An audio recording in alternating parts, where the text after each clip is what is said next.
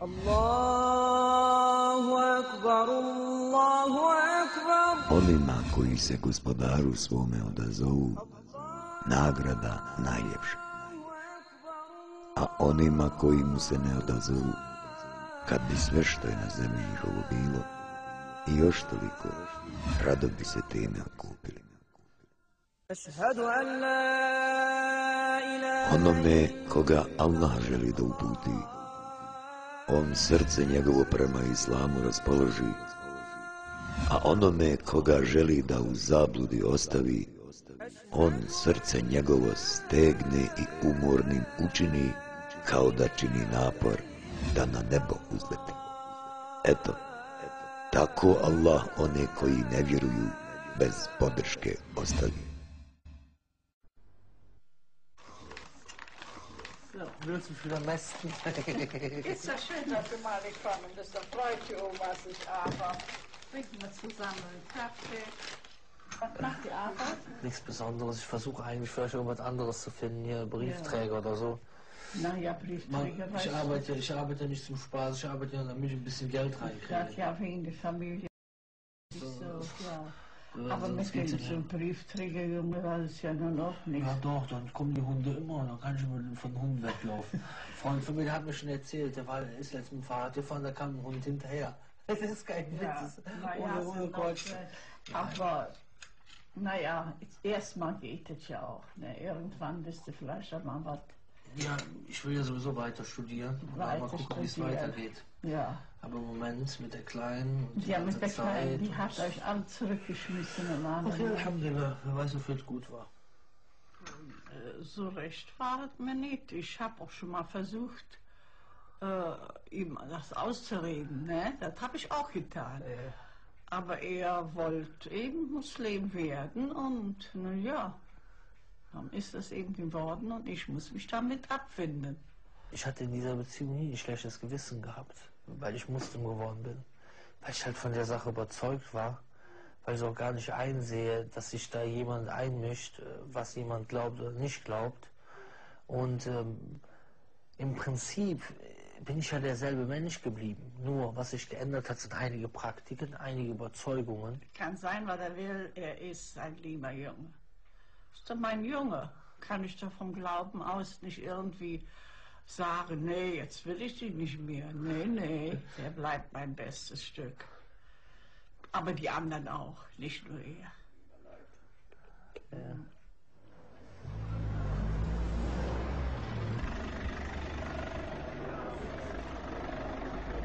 früher Profiboxer.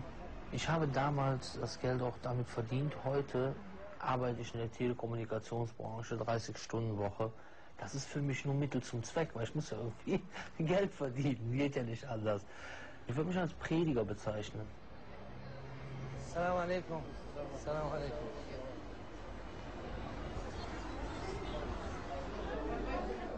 Salam alaikum. Aua. Das ist, glaube ich, zu leise, ne? oder? Ist das schon anders? Ne? Nee, ist noch nicht an. Ja. Der Koran fängt so an. Bismillahirrahmanirrahim. Alhamdulillahi Rabbil Alamin. Aller Lob Allah, dem Herrn der Welt. Das heißt, das ist erstmal das, worüber wir uns im Klaren sein müssen. Worum es hier geht. Es geht hier nicht um die Playoffs im Eishockey zu gewinnen und es geht hier nicht darum, was für sich cool zu sein. Es geht darum, ins Paradies zu kommen. Wie sind Sie zum Islam gekommen und wie haben Ihre Eltern darauf reagiert? Ich muss ganz ehrlich sagen, meine Eltern haben das sehr positiv aufgefasst. Es kommt natürlich auch immer darauf an, wie man das rüberbringt. Ähm, jetzt aber bitte keine Fragen mehr, sonst wird das zu viel. Ich bin zum Islam gekommen 2001. Ich war früher evangelisch gewesen, habe mich auch sehr dafür interessiert, habe auch Glauben an Gott gehabt. Dann ist das mit der Zeit mal verloren gegangen. War dann so jemand, der nicht wusste, woran er glauben soll. Und dann habe ich mir vorgenommen, mich einfach mal selber damit zu beschäftigen. Man muss doch mal selber den Koran gelesen haben. Und dann habe ich diese Koranübersetzung gelesen, von A bis Z. Am Anfang nicht alles verstanden, aber irgendwie dieses Gefühl kam immer mehr. Und diese Gottgewissheit. Subhanallah. Und eines Tages, da kam dann eine hat gesagt, äh, bist du der Einzige in deiner Familie, der Muslim ist? Ich habe Islam noch gar nicht angenommen. Da habe ich zu ihm gesagt, ja, ich bin der Einzige. Ashhadu an la ilaha illallah wa ashhadu anna Muhammad Rasulullah. Da bin ich Muslim geworden in dem Moment, Alhamdulillah. Er kennt zum Beispiel Bibel, den Koran und der kann äh, beides vergleichen. Und das ist äh, etwas, was ihn so interessant macht. Zum Beispiel haben ja Deutsche äh, viele Fragen, zum Beispiel, warum trägt man Kopftuch und so. Das kann, man, das kann er alles so gut erklären, erklären, dass auch Deutsche ihn auch gut verstehen, warum wir zum Beispiel Kopftuch tragen.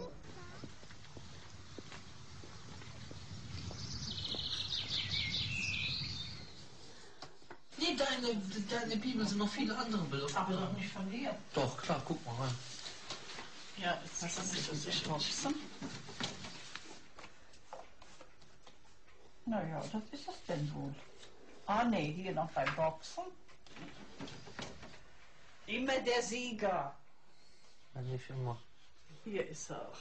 Überall, wo er siegt. Wo die Arme hoch. Ja, wo ich verloren habe, hat meine Oma nicht die Bilder. Weggeschmissen. Im Islam ist ja eigentlich das Boxen äh, verboten. Das heißt, wenn man wirklich in den Ring geht, weil man darf niemanden ins Gesicht schlagen, ja, das ist verboten. Da war ich schon anderthalb Jahre Muslim, dass ich mit dem Boxen aufhöre. So, Corner aus Deutschland, Köln. Begrüßen Sie, welcome, Vogel. Das habe ich schon so lange nicht gesehen. Das ist ja mit privater Videokamera aufgenommen worden, die die, die Zeit verändert haben. Ne? Das ist jetzt gerade der Einmarsch, da muss man natürlich auch ein bisschen cool sein, ne? die Show machen hier. Ich weiß, okay, ich habe ja noch als Muslim noch zwei Kämpfe gemacht. Äh, Ich war auch noch vertraglich äh, sowieso gebunden. Und, äh, ich meine, Boxen ist natürlich auch nicht so, als wenn man die Disco geht und Alkohol trinkt, ja. Aber es ist natürlich trotzdem islamisch nicht so akzeptabel und ich meine, am Anfang habe ich auch nicht so viel gewusst.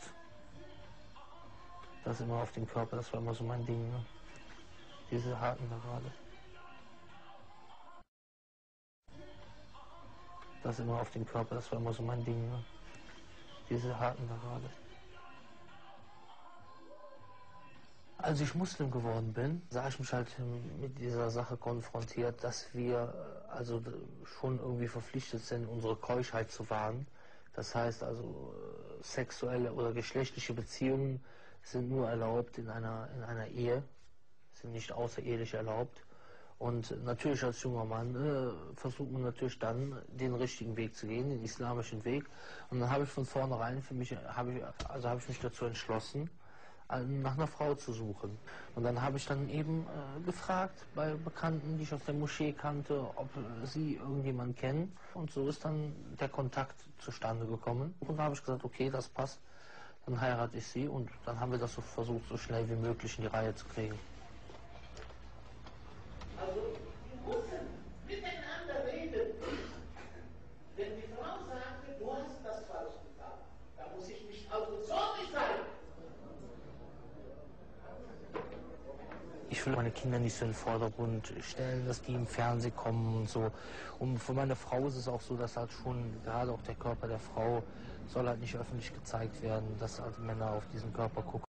Meine, okay, meine Frau wäre natürlich jetzt sowieso äh, verschleiert gewesen, aber trotzdem meine Frau, die schämt sich da auch. Die will das einfach nicht. Die ist da nicht so, dass sie will, dass die, wie ganz Deutschland weiß, wie meine, wo, wo unsere Bude aussieht.